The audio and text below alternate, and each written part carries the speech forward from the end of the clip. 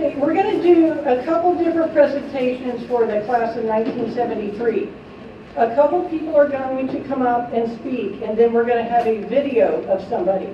So if the people that wanna speak can come up right now.